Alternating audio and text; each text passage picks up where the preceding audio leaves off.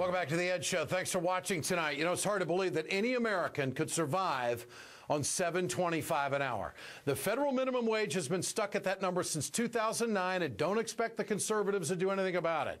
It's also the current minimum wage in the state of Wisconsin. And if you break this number down, an adult working full time would earn just $15,080 a year.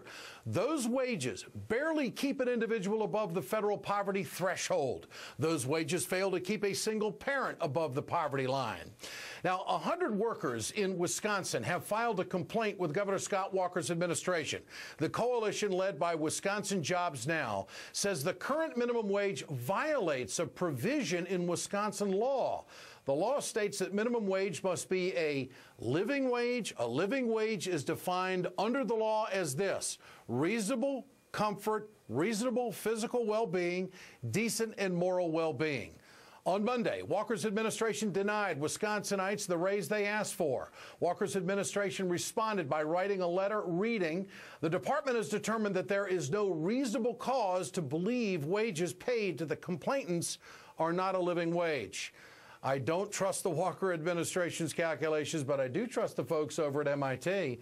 The Massachusetts Institute of Technology, according to them and their living wage calculator, a single parent living in Madison, Wisconsin would need to make $21.17 an hour to support their family. Joining me tonight on the Rapid Response panel, Jennifer Epps Addison. She's the Executive Director of Wisconsin Jobs Now. Also with us tonight, Congressman Mark Pocan of Wisconsin and Ruth Conniff, editor of the Progressive Magazine. Great to have all of you with us here tonight. Jennifer, is this fight over? Is this settled, or is there a recourse that your organization can take from here? It's absolutely not settled. Look, you know, Governor Scott Walker might think that 725 is a living wage, but there's no reasonable person in this country who believes a family can survive on that amount. So the reality is is that he is choosing willfully to not follow Wisconsin law, and people should understand that this is not a minimum wage law. This law dates back over 100 years in our state, and it says very clearly that every worker in our state shall be paid a living wage by their employer. That is clearly not happening in over 100 workers testified to the impossible choices they're forced to make every day. A woman like Brittany Ferguson, who's a hotel housekeeper in Milwaukee, talked about having to put back hot dogs and choose between hot dogs and bread at the grocery store because she didn't have enough money to afford it all. There is no person in this state who thinks that having to choose between hot dogs and bread at a grocery store means you're living in reasonable yeah. comfort and decency. Ruth, isn't this a statement that Walker is anti worker? and that this really underscores where the Republicans are. And if it's in the law, uh, you know, how can he get away with it as you see it? Well, I think that Walker didn't want to be put in this position, and I really applaud Jennifer and her group for uh, for making the point that they're making and getting those hundred workers together, whose situation is very real uh, and very poignant. And you read their individual stories, and these are folks who are homeless, they're on food stamps, and they're working full time. And I don't think Americans think that's how it ought to be. And so Walker would rather not deal with it. He'd rather not talk about it. And what his administration has said is they've taken a page right from the National Restaurant Association, which is the chief lobbyist against the increase in the minimum wage, to say, oh, oh, it would hurt our economy if we paid workers more. This is a fight that goes back to the beginning of the progressive era when the Progressive magazine was founded. This is a 1913 law, and folks in Wisconsin were on the leading edge of a movement to try to do better by workers, and they were saying we have child labor in this state, we have people who are not able to live on what they're getting, and let's really look at what it costs to live. And you look back at the debate on this law, they said, how much does housing cost? How much does food cost? What can we really offer people? What do we really believe people should have to put up with? Yeah. There was a big pushback backed by industry, and they've achieved a victory here. And Jennifer's right to make the connection with that era and that fundamental principle. Congressman, isn't the issue here, as far as voters are concerned, do voters who do not make minimum wage, who are doing well, do those people in Wisconsin care about those who are on minimum wage. I mean, that's really what it boils down to. There's not enough minimum wage workers to make a difference in this issue in an election, but are there enough people that care about it?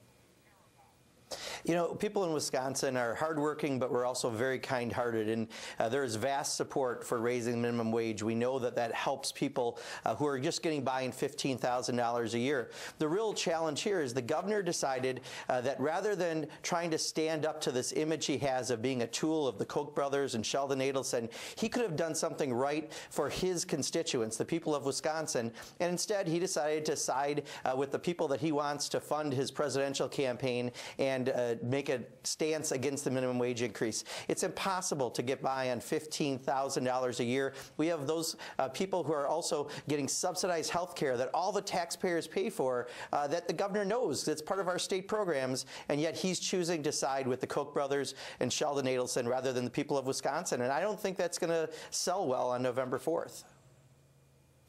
Ruth, you saw the story that we did earlier on North Carolina. There's somewhat of a story very similar to that that has unfolded in Wisconsin. On Monday, the appeals court upheld the Wisconsin stricter voter ID law. What does this mean for voters just weeks out, 25 days? What's the response?